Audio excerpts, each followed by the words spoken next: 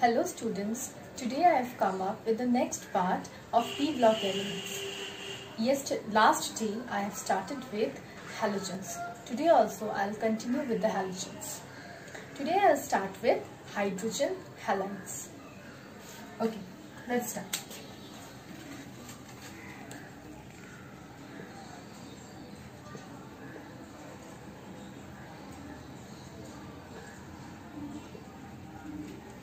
What are the hydrogen halides? Hydrogen halides of are basically hydrogen chloride, hydrogen chloride, hydrogen bromide, hydrogen iodide. These are the hydrogen halides. Now first is how you are, how you prepare this hydrogen halides. They are prepared by the direct combination of hydrogen and the halogens. Fluorine is so reactive that it reacts with hydrogen even in dark to form hydrogen fluoride. Chlorine reacts with hydrogen in sunlight to form hydrogen chloride. Bromine reacts with hydrogen on heating to give hydrogen bromide.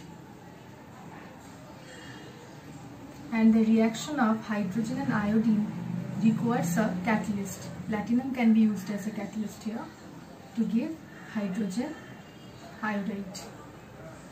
Okay? These are, this is how the hydrogen halides are prepared. More than the preparation of hydrogen halides, what is important is the uh, properties. So I'll come with the properties and the first property is polarity.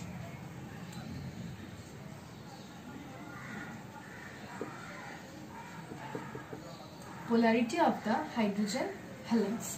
Now first come to the, uh, first I'll come to the order, polarity order. Polarity of hydrogen fluoride is more than that of HCl which is more than that of HBr which is more than that of HI. So the polarity of the hydrogen halides decreases in this order. Now why? What is the reason behind it? You know that the electronegativity order of the halogens is this that is fluorine is mostly most electronegative and as we move down the group the electronegativity decreases. We all know this. The electron electronegativity of hydrogen is constant in case of hydrogen halides and the electronegativity of hydrogen is less around 2.2 so, since the electronegativity of fluorine is most among the halogens, so the electronegativity difference between hydrogen and fluorine will be the most. As a result, HF bond is most polar due to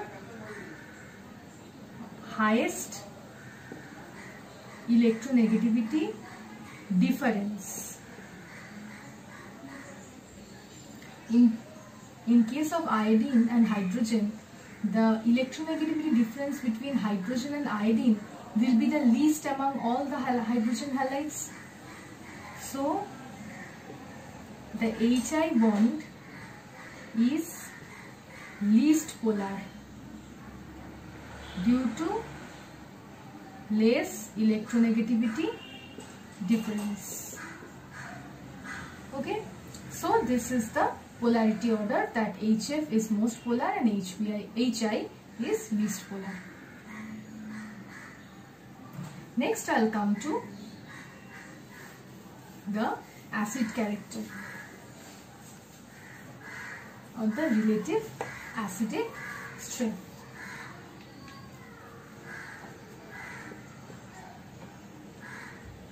This is another important character.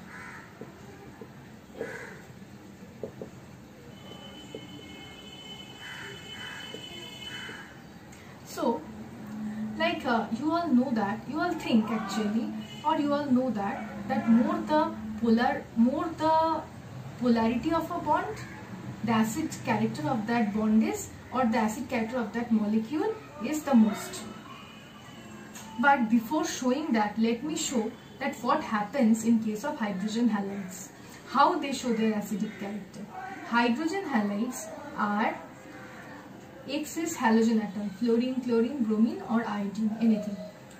For hydrogen halides, as hydrogen halides are soluble in water, they dissolve in water to get ionized into H3O plus and along with that X minus or the halide ion. Now, as, as fast the H plus will be ionized, the faster H3O plus will be formed and the acid strength of that halide will be the most for whom the H plus is easily ionized. Okay, now before this I have shown you the polarity order. You can say that uh, since HF is most polar, so the acid strength can be same as the polarity order. But here the case is different here in case of HF, fluorine's size is the smallest and iodine's size is the largest. So, the overlap of the, the orbitals of hydrogen and fluorine will be the best because of the comparable sizes of fluorine and hydrogen. But in case of iodine, whose size is much bigger than that of hydrogen, the or by here in case of HF, the orbital overlap is perfect. But in case of HI,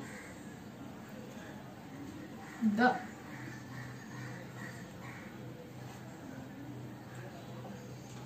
there will be orbital mismatch because of the different high, higher difference between the two atomic radii of the two atoms. Orbital mismatch. So, orbital overlap will be weak. As a result, HF bond is strong whereas HI bond is a comparatively weaker bond.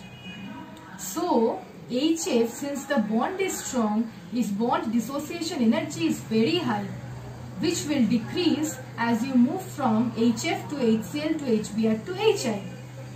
So, the breaking of HF bond is difficult Whereas as we move down the group, the breaking of HI is very easy. Okay? So, H plus will be easily ionized. H plus will be easily ionized for HI. Whereas H plus will not be easily ionized for HF because of the strong HF bond. So, the acidic order is just the reverse of the polarity order. Acidic order is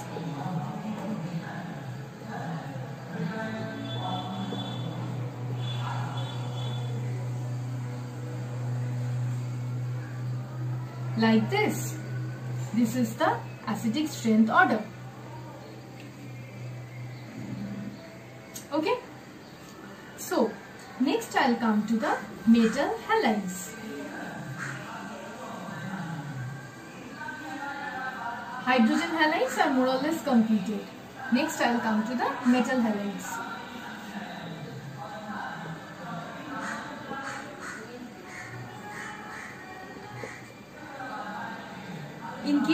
Metal halides, the metals metals with low ionization potential will form ionic halides. And the metals with high ionization potential will form the covalent halides okay? Now okay. Another important property here is that you should know about this that PCl PbCl2 that is lead chloride. Okay before uh, this before the, uh, before coming to this let me come to two other things uh, there are different oxidation states such as certain uh, metals are present in different oxidation states here for example tin presents are plus 2 oxidation state forming SnCl2 PbCl2 also is formed in class plus 2 oxidation state. SnCl4 is formed in class plus 4 oxidation state. PbCl4 is formed in class plus 4 oxidation state. Okay. Now here another thing I want to just tell you about this. This is an important part. That is PbCl2 is found more than PbCl4. The reason for this is inert pair effect. Now what is inert pair effect? Okay, to show plus 4 oxidation state, the 6s orbital has to take part for Pb, the 6s orbital has to take part in the bonding or the s orbital has to take part in the overlap. So, inert pair effect means the s orbitals are unwilling to participate in the bonding or unwilling to participate in the bond formation or overlap. So, the plus 4 oxidation state is not that stable as the plus 2 oxidation state because for plus 2 oxidation state the s orbital need not uh, participate in bond formation or need not participate in the overlap. Okay. So, PbCl2 is found much more than PbCl4 because of the inert pair effect and inert pair effect means unwilling participation of the s orbitals in bonding or orbital overlap. Okay. The next part is the reaction with oxygen.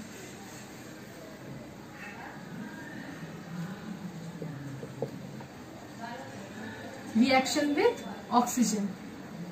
In case of fluorine, two compounds are formed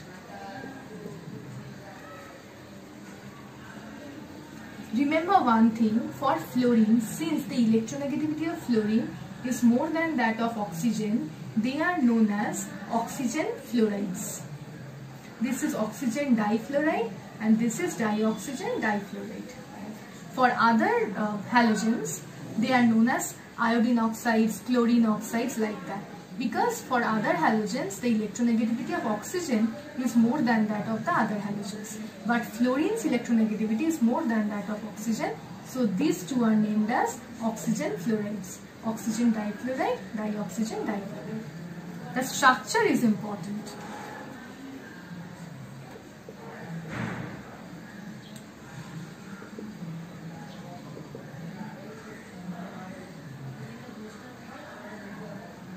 This is the structure of wave 2.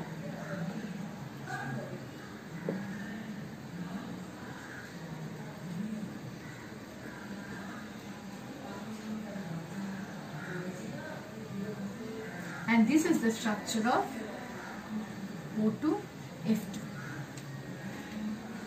Here the structures of the compounds are important, okay? Next I'll come to the structure of OCl2 okay bond angle is 103 and the bond angle is 111 now you can ask me a question or a question arises here that both fluorine and chlorine are halogens. The structure is same. They are bonded to oxygen only. Oxidation states also are same in both the cases.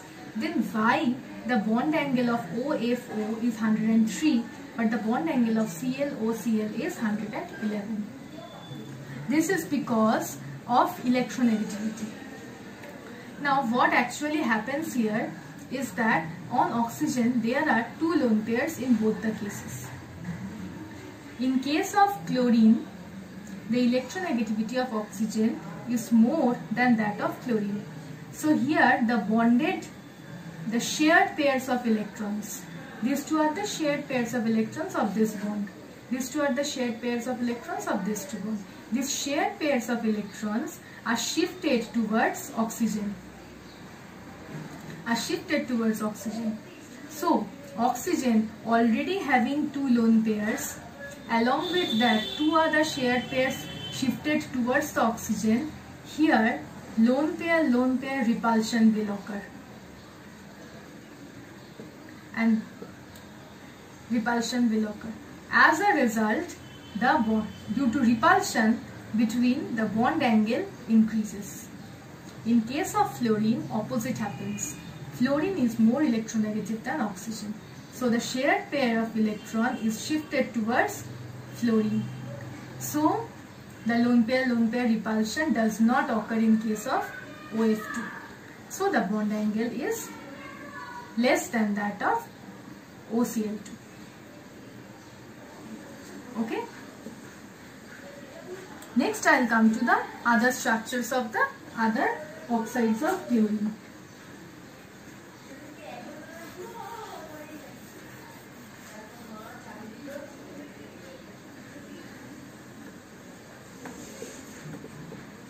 This is Cl2O.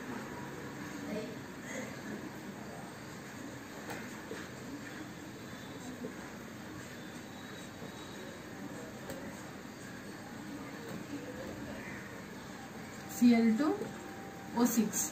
Listen, Cl2O6 structures can be of two types. One is the direct carbon chlorine-chlorine bond and other is through the bridge bonds.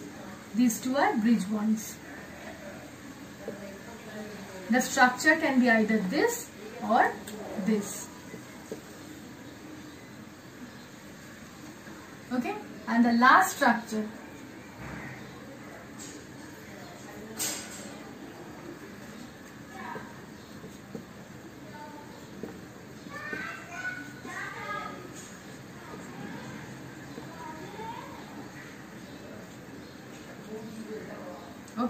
this is last structure of uh, the uh, oxides of chlorine. Structures are very important here. You must know the structures. Another structure is of iodine pentoxide.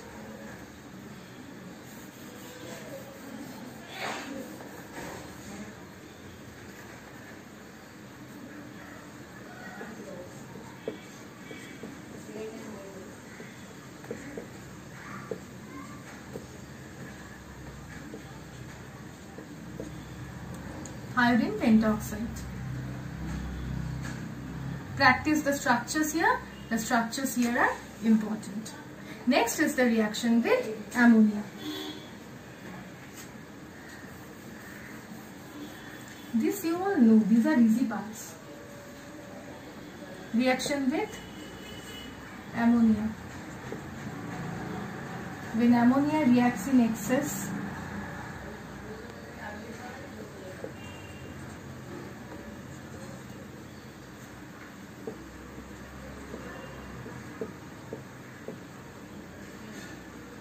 Here ammonia is given in excess and the other, in the other case chlorine is given in excess.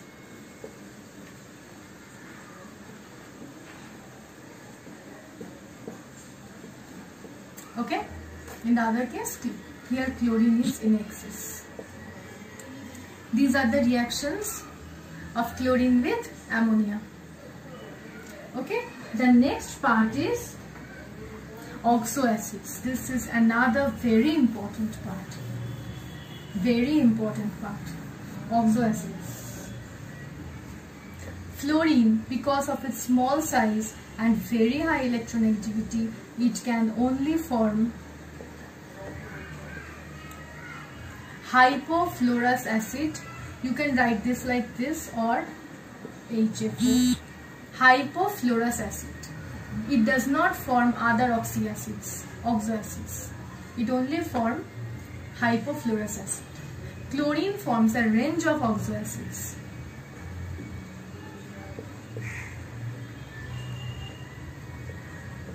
Hypochlorous acid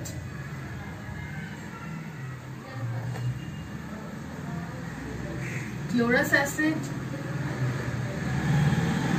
chloric acid, perchloric acid. Bromine forms hypobromous acid. It does not form bromous acid. Bromic acid, perbromic acid. Chlorine forms hypo iodic acid, iodous acid does not form iodous acid. Iodic acid. Periodic acid sorry. Periodic acid. Now along with this you need to know the structures for all these um, oxoacids of chlorine. Others you need not know but the oxoacids of chlorine are important here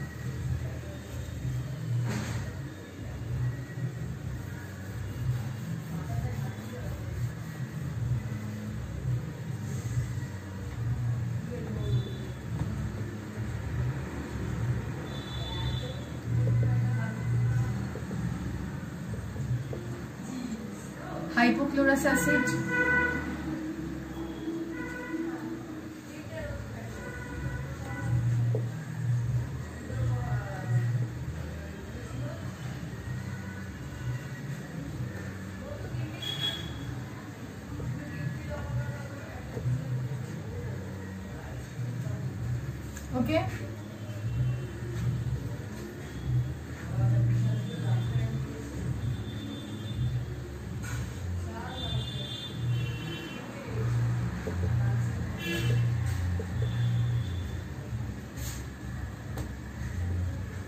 hypochlorous acid, chloric acid, chlorous acid, chloric acid and perchloric acid.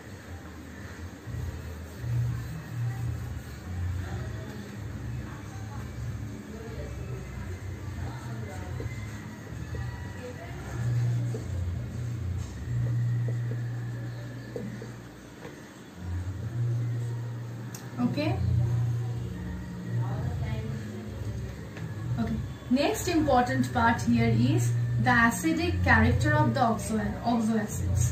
First, I'll come to the acidic character uh, order for the for the oxoacids of different halogens having the same oxidation number.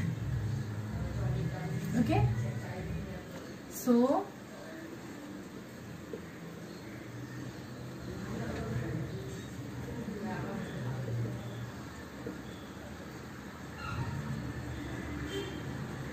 First, let, me show the order.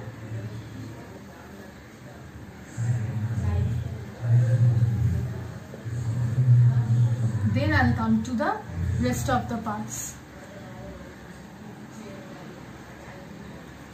Okay, here just look at the uh, atoms, the halogen atoms. What is the electronegativity order here? you know that the compounds which will easily ionize the H plus will form acids at a faster rate or the acidic strength of those compounds are more. So here what happens HClO chlorine's electronegativity is more than that of bromine which is more than that of iodine. So chlorine will easily attract the electrons from the oxygen chlorine will easily attract if I draw the structure.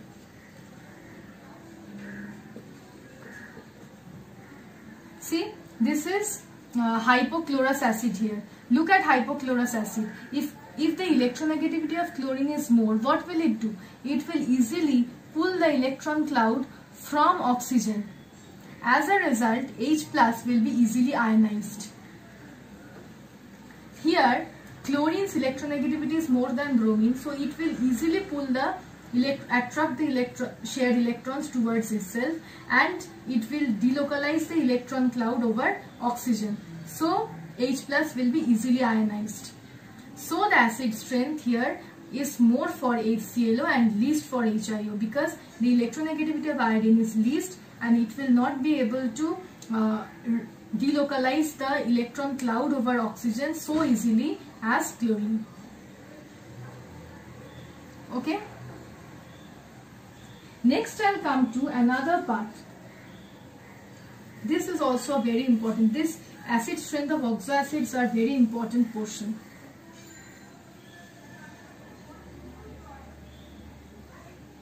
Oxoacids of different oxoacids of chlorine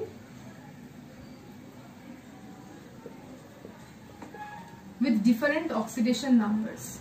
Oxidation states, sorry.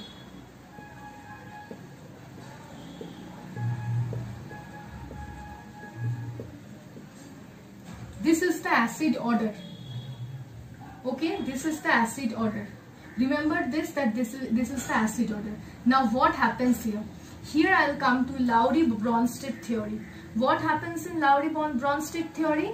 That more the stability of the conjugate base of the acid, more will be the acidic character of the acid. Which means the conjugate base of HClO4 is ClO4 minus for ClO3 is ClO3 minus, ClO2 minus and ClO minus. What happens here?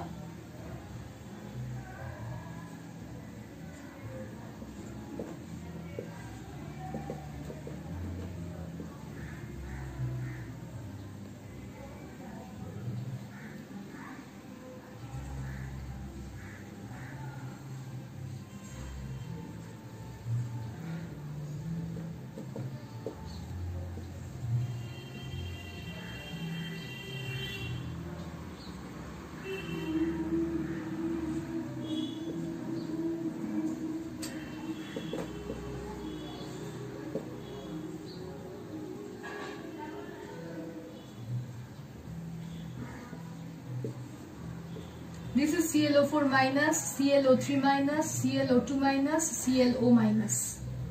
Okay, look at this. Here there is one oxygen atom and oxygen is more electronegative than chlorine.